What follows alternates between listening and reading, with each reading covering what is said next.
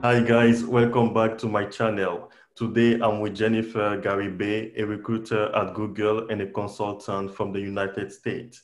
Hi Jennifer, how are you? I'm doing just fine. How are you? I'm good, thank you. I'm glad to host you on my channel and I believe people are going to learn a lot from you in this interview. Today's topic is the power of networking. I'm so excited about it, and I know because I know you're a powerful networker, so this is the right topic for you, right? I I hope so.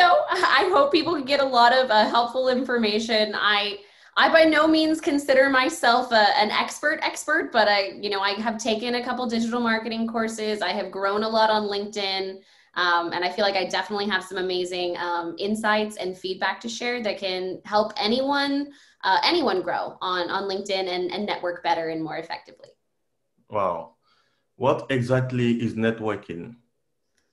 So networking, that is a tricky question. Um, it means a lot of different things to a lot of different people, um, but it can happen both, uh, you know, in person, real time, or virtually. So before COVID, you know, we had a lot of these like mixer type settings, um, and that was more so the way um, the way to network. And you know, LinkedIn has always been popular, but as we we move into COVID and this more virtual world, LinkedIn has really just continued to skyrocket.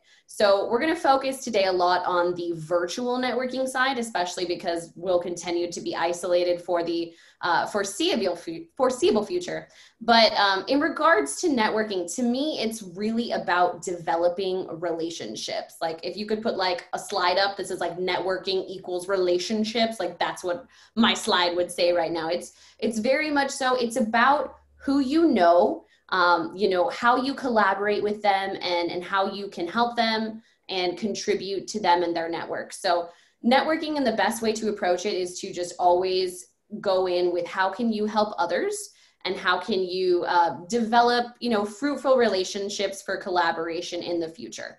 Um, and the best way to do that is by providing value because uh, people will want to network with you and connect with you if you are providing them um, with some sort of service, whether that be yourself and the knowledge you have to pass on or an actual service itself. So it's about it's about setting yourself up as someone who is is useful to others, who helps others and who can provide others with value and then developing those relationships and capitalizing upon them. Wow. So networking is not all about personal interest. Definitely not. Um, I'd say that the best networkers out there are the ones who are trying to uh, provide their audience with the most, um, you know, the most content, whether that be like actual video content, post content, um, you know, articles, knowledge. The people who who network the most effectively are those who are looking to give and to not take, just because others then are so attracted to that um, that sort of warmth and hospitality and and the knowledge and energy you can bring that they're just that more likely to want to work with you in the future wow can you give some tips on how to network effectively yeah so networking effectively comes down to a few different things i'd say um, I'd say step one would be LinkedIn profile optimization. So you really want to uh, optimize your LinkedIn profile. You think of it as like a landing page. You know, if you don't have a personal website, this is sort of your your website. I mean, people go here to see what you do. So you want to make sure you have like a great photo, a great banner, that accurately reflect you um, and who you are. Oftentimes, people don't scroll down to your job experience. Uh, statistics have shown that people look at the, the top of a profile and then oftentimes don't scroll any further. So you want to make sure you're you're including your your skills in your banner, your contact information, other valuable information, so that people can um, easily access you and network with you. So that's step one is LinkedIn profile optimization. I would say step two is making targeted connections. So let's say you're a job seeker uh, who's a coder looking, looking, looking to work in like big tech.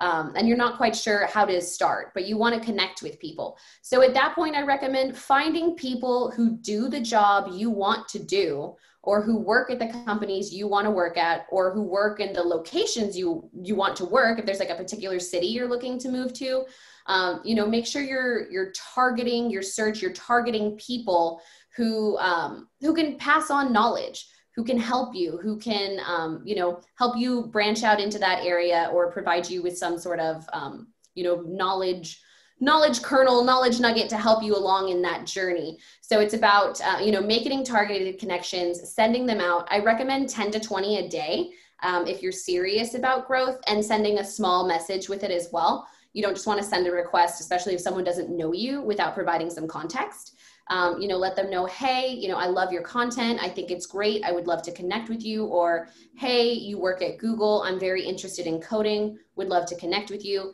Um, this is going to allow you to start to build your network uh, and it's going to be a network filled with people who are your target market so you definitely want to optimize your profile, send targeted connections. And then point three would be to build relationships. So just continuing to touch base with people, have a lot of informal chats, have coffee chats, you know, answer people's messages on LinkedIn, really engage with your audience and those around you. And um, you know, I always treat it like a little garden. You know, networking is like a harvest. You you plant all those little seeds, you water them, you tend to them, and you you watch them grow. Um, and then eventually down the line, you may need some help, and and you've helped all these people, and it, it just goes full circle, and, and they're going to come right back and do what they can for you as well. So just developing those relationships so you have a a sea of a network of people to to help you in any regard. Wow, that's powerful. How to network when you are shy?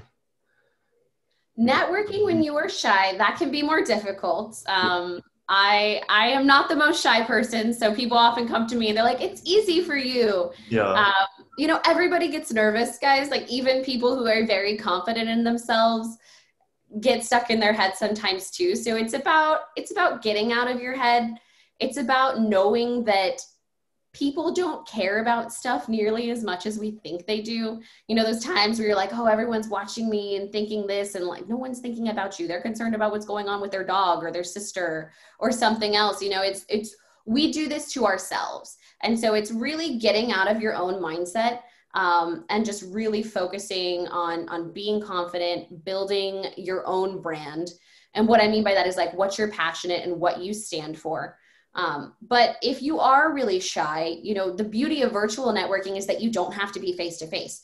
You're really going to get a chance to, you know, if you work better in like a text format and you don't want to do video chats with people or you don't want to make content, your chance to shine may be really in like messaging back and forth with people. Maybe you're very articulate and you can express yourself very accurately on paper. So it's about finding a niche that works for you with the skills you already have um, and just kind of capitalizing on that um, and really taking advantage of the virtual setting.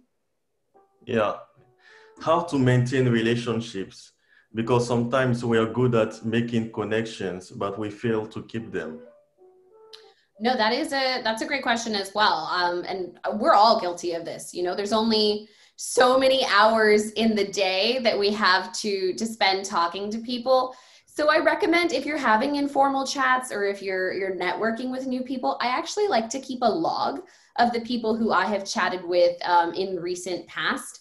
You know, maybe they were informal chats, maybe they're looking for a consultation for my business, things like that. But kind of keeping track of of people that you talk to and then checking in every now and then. So you know, if I had a meeting with someone like two months ago, I may send a follow up email and just say like, hey, hope you're doing well um, let me know if I can do anything for you. So I think the best thing to do is to stay organized, stay organized, stay intentional, and be consistent, and uh, try to reach out on a regular cadence. So, you know, maybe every week is not possible, switch it to every other week. Or if it's someone who you don't talk to very often, maybe set a reminder on your phone to check in every month. It's about, um, you know, really setting boundaries for yourself and then making sure you follow through that you can continue to, to develop those relationships. Wow. And what are the impact of networking on personal development? Or how can networking help someone improve themselves? Yeah, I think that manifests itself in a lot of different ways. So, I mean, you can bolster your professional development on LinkedIn alone simply by, you know, learning content from other people. I mean, there's so many free videos, free resources out there on LinkedIn um, that really have the ability to like teach you, you know, optimization and how to talk to people. Um, so really just taking advantage of that. There's so much free content out there, YouTube as well um, so many different courses. You know, feel free to check out my videos. I try to give a lot of you know help to job seekers when i can so it's about going out and and looking for those things making sure you're you're taking advantage also linkedin premium has amazing courses you can get your first month free guys if you're not interested in paying you know use the first free month and then cancel it. But take a bunch of courses during that month especially if you don't have a job right now and you're looking for a job and you have a lot of time be using this time to better yourself to teach yourself the things um, that you need for your next role or something you've wanted to learn you know i've been practicing my spanish during this uh, this time working from home because it's something i've always wanted to grow fluent at. So it's about continuing to to upskill yourself find new ways um, and never stop learning because it is absolutely vital. Yeah. And how has networking affected your life personally? My life personally has been most definitely affected by networking. Um, I joined the Growth Academy at the oh my goodness at the end of September, yeah. um, and it's completely changed my life. I honestly, you know, joined Growth Academy to just start, you know, meeting like-minded professionals, growing my network to potentially, you know, leverage a job position later on down the road. And through being in it, I was so inspired by all these entrepreneurs and other people working so hard to build something that it inspired me to do the same. And it made me want to start my own business, which I've recently launched within the past two weeks, my, my consulting business that I've been doing with people. So it's, um, you know, having that community, having that growth has been uh, absolutely incredible and has completely changed my life because now I'm I'm starting to grow my own thing as a result directly of networking and people I met on LinkedIn. Wow. And how did you become a good networker?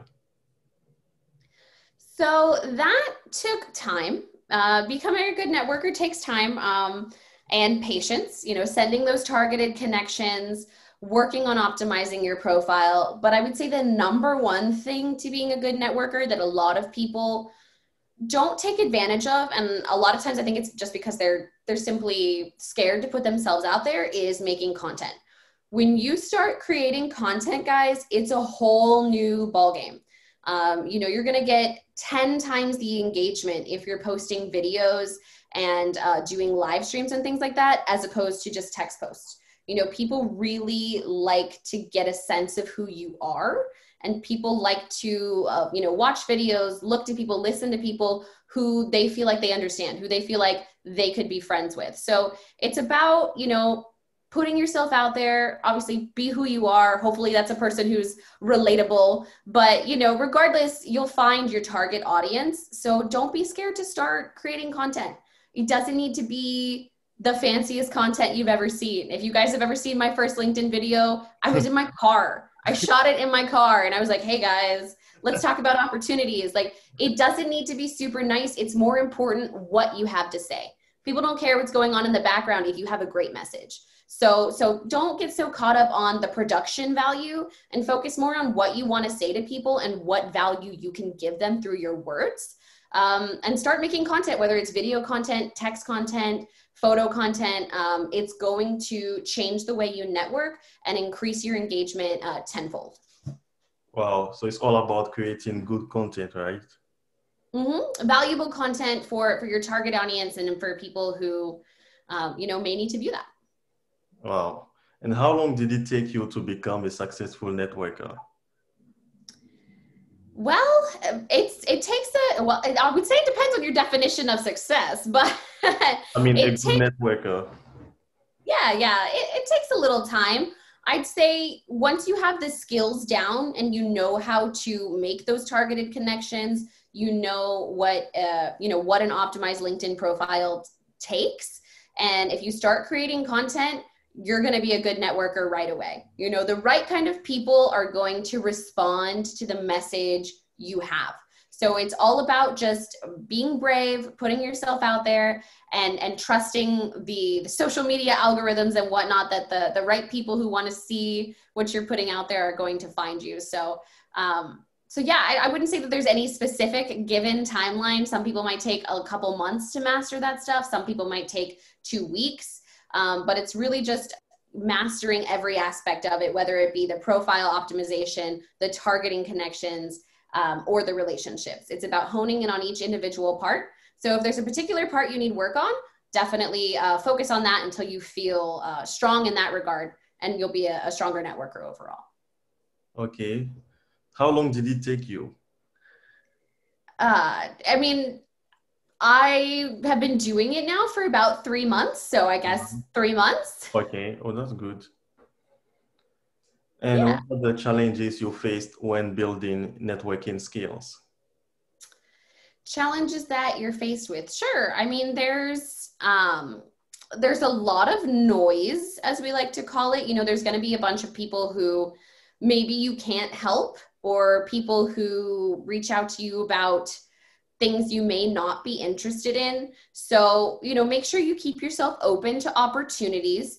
You never know what the next great opportunity for you is going to look like. You know, a lot of times we're we too easily turn our noses up at something that we don't think is good enough or we don't think is right for us um, when oftentimes if you give things a chance like maybe that would have been the perfect opportunity and, and you never know until you try so it's about you know finding that balance um, and then going from there wow and at what point in your life did you first realize the importance of networking so that was a very uh, recent thing for me. I mean, I would say probably like two or three months ago, I realized. I mean, I had had LinkedIn yeah. for five plus years, and I had a profile just sitting there, not doing anything for me. It sat there for years, and I didn't touch it. I didn't really update it until about a year ago when I started working for Google and then I started to, you know, to update my profile and keep up with it more, but I never posted content.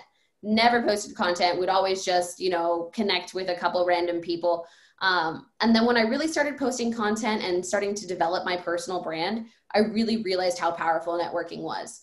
Um, you know, you're always going to have you, you know you're to work at different places. So you want to build up your personal brand. You know you don't want to always be building up the brand of the place where you're working because that may not be where you are forever. Not that you can't support the place that you work but it's important that you begin to stand out on your own for the things that that you love and enjoy because eventually when you're looking for another job you are the product. So you want to make sure that your linkedin represents you and your brand well so that when someone comes to your profile, they understand uh, who you are and what you can do for them.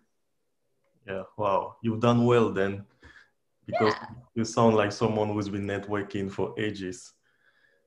I I am a fast learner, but I also have had a lot of help from from the amazing uh, Growth Academy community. Okay. So how do you network? How do you network? Um so just basically i think we went over this a little bit earlier but it's um no i mean you know, basically, personally how do you network? oh me personally how do i network? Um honestly kind of basically the same thing. I mean i you know i try to optimize my profile. I always make it so that you know whether you are someone looking for a job or if you're someone looking for help with a resume a consultation i try to make my my profile able to you know attract a general audience um, and and let people know that i can help them in that way. Uh, i do send the targeted connections to people in tech who inspire me or other career coaches who i'd like to work with and i grow my network in that way but again the the biggest thing is content is king guys. Like i couldn't start growing my network until i started creating my own content. So um, that's the biggest way in which i network is i create. I'm a content creator and yeah. so i put things out there and i wait for people to engage and then i engage with them. You know if you post a video you post something comment back to all the people who comment on you you know you know have a conversation with them connect with them um, and make sure you you respond. I try to answer almost all of my LinkedIn messages if someone actually asks me a question. Yeah. You know, if someone's just like, hi, or whatever, I'm like, okay, I'm sorry, I don't have time for that. But like if someone actually asks me something and I feel like I can contribute, you know, I try to to stay as in contact with people as I can. Um, so yeah, just just really developing those relationships and and building off of that. Wow, wonderful. What are the things to avoid when networking? So, what to avoid when networking? I would say you need to not send messages to people and ask for things. That is like the number one thing. Um, like personally, I can't tell you how many messages I get a day where someone's like, hi, read my resume. Do you have a job for me? And I'm like, I get a hundred of these a day. I can't read all these resumes. So I, I don't read them all, you know, but if someone has developed a relationship with me, if they like my content all the time and I recognize their name and I'm like, oh, I see Jeff, he's always commenting on my stuff. And then he messages me like, hey, I'm really struggling. Um, you know, I really enjoy your content. Do you have any extra tips or tricks? You know, it's about developing that relationship first before asking for help. So give before you take. And if you don't have anything to quote unquote give, engage with someone's content. That is a gift of its own. You know, if you are liking someone's content, engaging with them, it helps them to, you know, get more views. It helps them to get more engagement, which is a positive for them as well. So it doesn't always have to be that you have some sort of service to give. Um, yeah. You can also give in just your opinions um, or engaging with their content as well. Um, and then going from there. Wow. What are the best places to network? The best places to network, I would say, definitely wherever you work. Uh, you know, whether you work in a big company, a small company, uh, you definitely want to network. Uh, you know, get to learn all the, you know, get to know all the people who work in your general space um, because they they can go anywhere, right? You could have a boss who you love who in two weeks goes to work at some other company, but if you have a great relationship, that then opens you to other opportunities at that other place, right? Because you already have a contact there who knows you, who can speak to your work, and who would want to help you. So, you know, definitely take advantage of the people who are immediately around you. Um, and then LinkedIn, you know, virtually, this is the world we are headed to. So make sure you are connecting, sending those targeted connections on LinkedIn uh, to really start to build out your uh, virtual network and, and have it be full of people who are, are in your niche and are going to be able to help you. Great. You know, some people don't network due to the fear of rejection. What advice do you have for them? My advice to them is to try and try and try and try again. You know, rejection is redirection um, you know failure is not the end. You know we we all fail sometimes. You know, i posted a i applied for a job not that long ago. I had an interview. I thought it went great. Um, they even told me the interview went great in the feedback i actually posted it on my linkedin and and i didn't get the job. But you know it's important to to be open with your audience. You know show them what you're going through. Um, you know everyone i i feel like i do a pretty good job at my job and i didn't get that role. You know what i mean? A lot of times it doesn't come down to your skills. It's not always your skills. It's not always um, you know any sort of like particular university you went to. A lot of times it just comes down to timing and what that particular hiring manager is looking for uh, in regards to a role. So, you know, don't be afraid of rejection for jobs and don't be afraid of rejection when networking. You're going to get rejected. Like I'll tell you right now, if you're sending 10 targeted requests a day, half yeah. of them will probably reject you, but the other half won't. And and the point is is that you have to keep trying because if you if you send no connection requests because you're scared, you're definitely not going to connect with anyone. You have to put yourself out there and be willing to try um, and just kind of uh, swallow that fear sometimes uh, in order to to get ahead. Yeah, is networking a gift or a skill that anyone can develop? Oh, for sure. Um, anyone can develop the skills to networking. I think it's really just focusing on your your human relationships and treating virtual networking like you would in person networking. So, you know, very much so don't immediately message a person like hey what can you do for me? Like would you walk up to a stranger in a room and be like here's my resume get me a job? They'd be looking at you like who are you? And and i don't do i know you? Like it, it's the same kind of thing. Like anything you wouldn't do in person don't do in the virtual world either. You know have that tact develop that relationship uh, and things will go a lot more smoothly and people are going to want to help you if you approach it in that way. Yeah what are the benefits of networking, or why do you think people should network?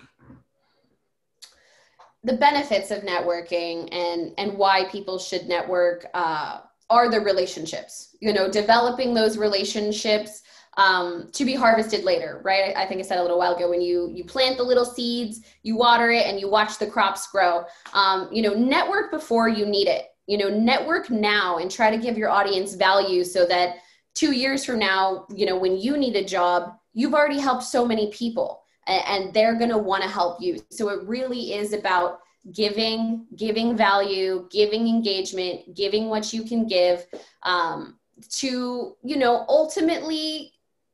And you don't necessarily go in it with this mindset, but when it comes time, if you need help, uh, you then have the ability to reap those benefits because you've planted all those seeds and you've helped all those people who are going to be willing to to help you. So it's invaluable to have that that resource of people uh, to rely on in the future. Wow. Well thank you so much jennifer for sharing your knowledge experience and thoughts on this topic. That was very powerful. Yes of course. Happy to happy to be here. Thanks so much for having me. I hope you guys learned some great tips about networking. And if you would like some more tips or to connect with me uh, find me on linkedin and, and we can connect uh, it was a pleasure to have you as my guest. And guys you can follow jennifer on linkedin as she said. I will leave her links in the video description. Thank you and stay tuned for the next video. Awesome. Stay well guys